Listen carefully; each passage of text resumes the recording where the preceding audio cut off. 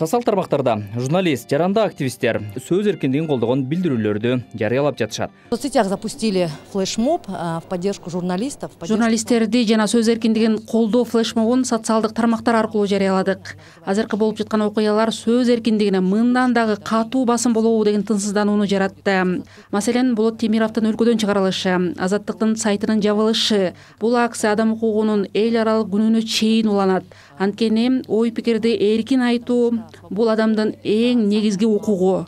Базовое право человека медиа коомчулук фейк мыйзамын өзгөртүүнү. Президенттик администрация сунуштаган массалык маалымат каражаттары жөнүндө мыйзамды токтотууну талап кылып жатышат. Дайыма эле айтып аткан илгери бизде ушундай акындар бар болчу да биз ушу сөз эркиндиги бар болчу деп бирок ал акындар андай крутой кишилер болчу алар күрөшчү ошентип күрөшүп ал деген дайыма рискованный. А биякта азыркы журналисттер ойлойт сөз эркиндик деген мен сүйлөй берем ага мага эчтеке болбойт жок күрөшкө даярдуу болуш керек. Көбүнчө азыр бүт баары эле унчукпай калды. Мына темировду кууп салдыбы мына кемпир абад боюнча биздин аялдарды э, камап салдыбы тоже уже эч ким э, сүйлөбөй калды. Эч кандай аналитика жок. Эч ким жакшылап элге түшүндүрүп берген жок. Сөз эркиндик деген дайыма күрөш күрөш болуш керек. Медиа серепчи семетей аманбеков бийлик өкүлдөрүн журналисттер менен диалогко чакырат. Аманбеков массалык маалымат каражаттары бийликке оппозиция эмес мамлекетке жардам берүүчү коррупцияны ачыктоого көмөкчү экенин белгилейт өзү түшүнүш керек ушул сөз эркиндик эң биринчи бийлик өзүнө керек. Анткени журналисттер жанагы мамлекетте болгон эң көйгөйлүү эң мындай курч нерселерди акыбалдарды айтып аларга эң биринчи жардамчысы ошолор.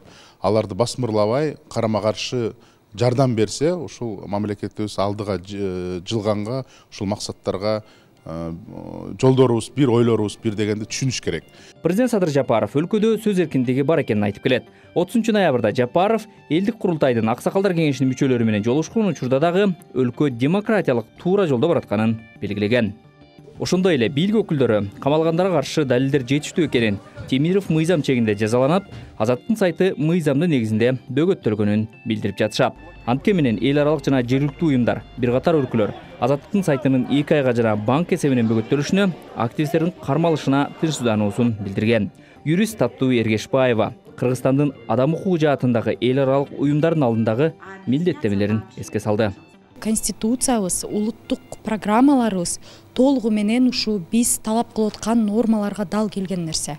Анан мындан ары мына биз эксперттер бийлик менен жакшы иштешибиз керек.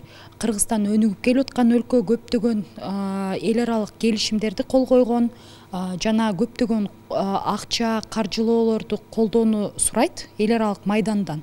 Биз ушул демократиялык укуктук принциптерге таянып гана иш жасай алабыз.